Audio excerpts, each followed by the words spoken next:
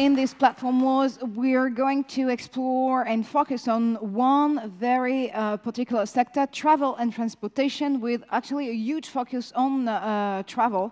Um, and uh, we're lucky enough to have one uh, of um, the major representative, actually, uh, of bookings with us uh, today. Remember that during um, the uh, other event that uh, IDATE um, had uh, and hosted also in Paris, we also had the time to discuss about this major change in travel with Accor CEO Sébastien Bazin and transportation with Frédéric Mazzella from Blablacar. It was at the DigiWorld Future in Paris back in June.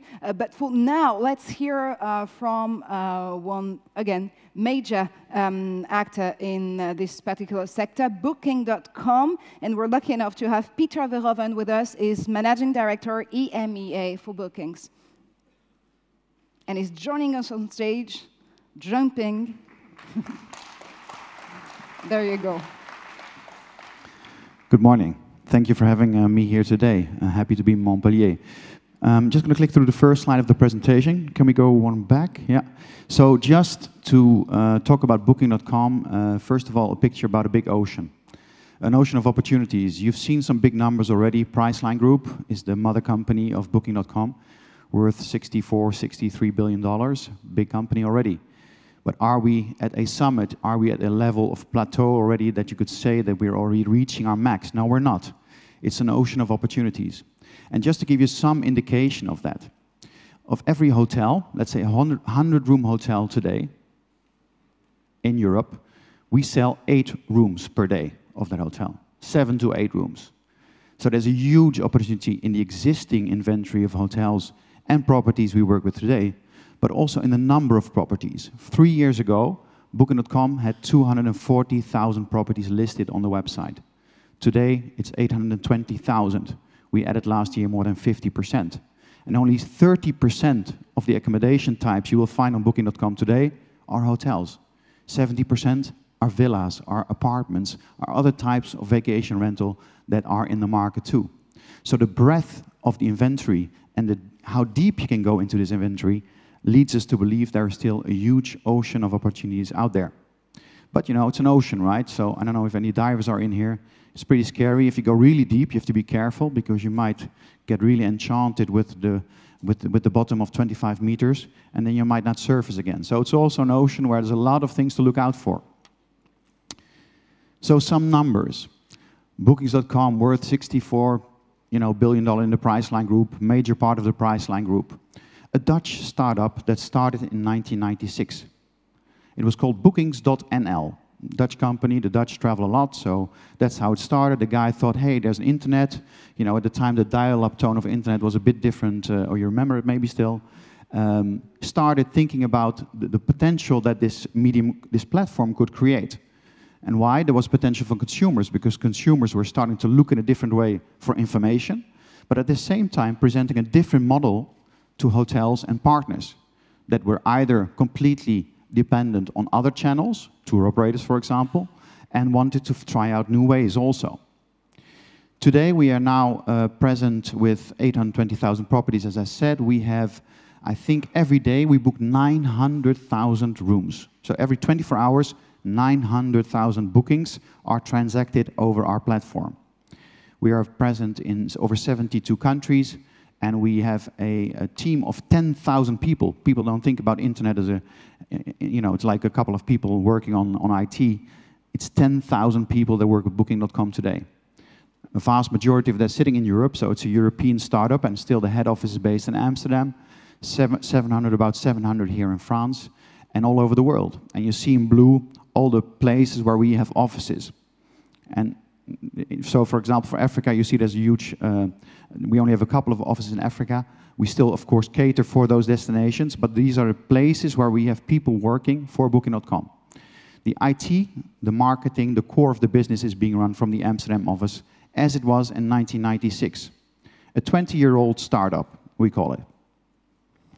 Um, if you think of that, if you think of the, the, the, big thing that started this company was changing consumer trends. Looking for information began to happen in a different way. And uh, that's all nice and said, but all the people that started in 1996 with an idea did not survive. So what happened? What was really the things that made us successful? The first thing I think it was real focus. So when you talk about speed, and I saw something about speed and going fast and getting scope, it's also focus. So the focus was from the beginning for Booking.com to really focus on accommodation, not on travel, not on the collaterals, only on accommodation. Getting a critical mass of suppliers to participate in the platform and ensuring that you have all the resources you need to be techie and technology driven on your platform. And of course, a lot of things have happened since then, right? Since 1996. Nobody ever thought we would grow to the size we would grow today. I mean, even the founder, I talked to him a couple of days ago, he said, you know, we just started something. We thought it was an idea. Nobody anticipated the growth of this business and that we would be the worldwide leader of online travel today. Transparency wins. So reviews, everything that you put in the consumer's eye, everything has to be truthful, has to be measurable. All the information that you put out there is key in your success. If you're not, let's say, conversion driven, if you're not looking at what the consumer wants and approves of every day, you will lose the battle. And I think that was very clear. We have over 60 million reviews now today posted. 85% of the travelers look at those reviews before they book. The first reason why they book a location or an accommodation is price and location, of course. The third one is straight away peer-to-peer -peer reviews. Not what your family says, not what your brother says, not what your friends say. Peer-to-peer -peer reviews, hugely important. Also, the internet has transformed. Consumers don't want anymore just the transaction. It's not about just simply being a platform that, of course, a platform gives wide variety of choice, gives filters, gives transparency to a market. Better transparency is good for a customer. Customers like that. But it's also about the experience. So once I'm in the discovery phase of my uh, trip that I want to plan, what information is being reached out to me? Do you have destination guides? Do you have more content to provide to me? How is your content formatted? These are big things that really, I think, uh, made us focus on uh, on the technology side of it, and you measure that, right? Because you can say that's great, but how do you harness that technology power? We have thousands of developers in Amsterdam from, I think, 75 nationalities sitting there that are completely focused on data. And there's something cultural about it. So if you talk about the culture of companies I've worked for, I've worked for Disney, I've worked with Sebastian before, I've worked in a lot of businesses, but this culture is different.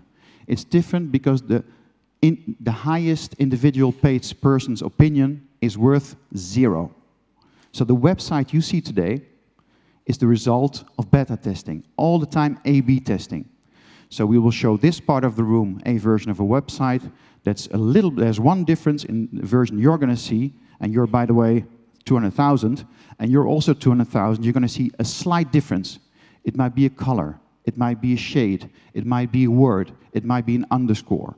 Thousands of experiments are being done. To be precise, 1,000 experiments every day. And this is called incremental progress. It's not sexy, right? I mean, dark blue, light blue. What do you choose? Well, if you choose dark blue, the site goes dark blue. So these small steps in, in experimentation and being data-driven about it and being very scientific about it is what makes a successful website. So the website you see today and the mobile app that you see today is the result of customer choices. They preferred this version. They converted better. They stayed longer in our boutique with this version that you see today. And of course, many of followers in industry benefit from that knowledge and copy a part of our site sometimes, but it's fair. So how do you harness it? It's, I think, very much about culture. Uh, when our CEO joined the company, Darren Houston, he had a thought about the logo. There was a little, I think, a little briefcase hanging under it or something, and he wanted it out. The team said, I'm sorry, we're not going to do it like that. We're going to test that. So, you know, the CEO is being challenged on changing the logo of a firm. I haven't witnessed many of those occasions. Everything is tested. Some trends, I think it's very obvious that mobile first is, uh, is not new. Uh, it's really uh, getting really big now. 86% of global travelers use their smartphone or are likely to use their smartphone.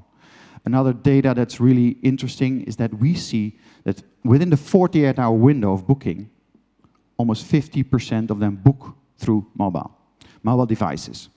So this is like big, right? So if you go to Rio de Janeiro, and you travel to Rio de Janeiro, and you stay there for a couple of days before you go to Buzios, and then you see the weather you're in Buzios, and then you, in the old days, when you would go back to Rio to, to, to because the weather was not so nice in Buzios, you would say, I have to call, I have to. People travel to Rio, they stand in front of the hotel, they stand in front of the Copacabana, they scroll, they look, and they book. This is the way that people start using it more and more to book a room. Today, one third of bookings are coming from a mobile device. That trend is ultra rapidly ramping up, of course, and nobody will be surprised that that will be rapidly more than 50%. It does mean something. To be relevant on the screen of a desktop is a different game than to be relevant on the screen of a mobile device. It has a different technology. You have to be relevant. We have to be relevant on 232 screens every day. 230 type of resolutions that we have to cater for. So you can imagine the tech guys behind that and the technology that's behind that. And that trend will continue. And those who are not relevant on that market will probably have a tough time. And it means for us also, it means launching innovation on apps. We launch Booking Now, which gives you the instant uh, vision of hotels around you that, that you can book. We still have our mobile website that transacts huge numbers of volume. We have to stay relevant on both of these. Instant bookable.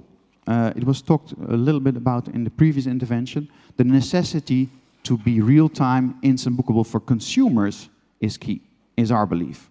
So even if you talk about vacation rental, even if you talk about an apartment you want to rent for a while, if you cannot offer that instant bookable feature, there's something that you're not giving the customer because he wants it. And if you're not going to provide it, then somebody else will. Because the customer wants instant confirmation. No long email exchanges, owners accepting that you, you, know, you take their reservation and let's email up and down. It's instant bookable or it's nothing. That's at least our vision of the way forward. By the way, here you see some of the igloos that are also featured on our website. And uh, that's just one type of non-hotel accommodation that we have, which I talked about earlier. So instant bookable, bookable real-time is remaining uh, pivotal. Um, the value chain, there was also maybe a discussion in the previous session about what happened to the value chain, what happened to the, uh, to, to the industry. Well, of course, the big winner in all of this is the customer, right? The consumer. He's got transparent markets. If you used to go to your travel agency with a brochure and paper to find out something, you might have trusted a brand because you're not sure what's going to happen when you travel. All this is out of the market. That's a huge win for travel. That's a huge win for consumers. For hotel and accommodation partners, there's huge wins too. And I think that should be underestimated. It shouldn't be underestimated.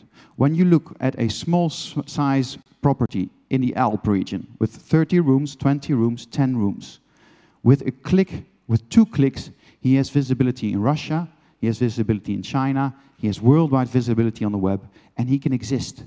And he can, he doesn't have to spend marketing efforts that he could never afford before. He can simply exist because he's visible on platforms, not only on ours, but on platforms as ours. Of course, there's also friction in that market sometimes. You know, tour operators, for example, those who really owned the whole coastal regions in Spain, Portugal, and still do for a large, large chunk. Hotels beginning, began looking at what distribution channel is more interesting for me. And that's, of course, where we started added value because we offered a business proposition that was interesting to them compared to maybe the ones they had before. So for tour operators, it's been a rough ride. And of course, they're also converting to more online experiences, and every company will have its strategy. But those, of course, were very much affected by this, uh, by this uh, whole chain of events. I think uh, a last note on, uh, on uh, where this is going. Um, as you see, the market keeps on moving. There's an ocean of opportunities, but there's a large number of players that are out there. Airbnb is with us today. Uh, we are also broadening our spectrum. There's a lot of players out there. There's meta search out there. So it's not like it's a, a, safe ride home. We constantly think that the culture of the company is what keeps you, Uh, which is what will keep us alive, focusing on technology, technology solutions. For example, if I'm a customer and I'm traveling to a hotel, I want to be in touch with the property not via email. I want to have a chat conversation with the property. That technology is something that we're looking to enable, something new. At the same time, for our suppliers, so for our hotel partners and accommodation partners, they're looking for technology solutions. They're looking in this world of constantly changing prices for advices. And who could give them that advice? Who could be a trusted partner to give them advice how to position themselves somewhere? Uh, that's also solutions we're looking into offering. Digital solutions for partners, and of course, staying customer focused. But the core of it all is stay very close to the company culture. I think that culture uh, is really about, you know, it's not because you're the boss and you're on stage with a microphone that you're right. It's the data that will show that you're right because millions of customers choose you every day. And once you've got that culture, I think there's a lot of uh, potential out there. Thank you very much. Thank you very much, Peter.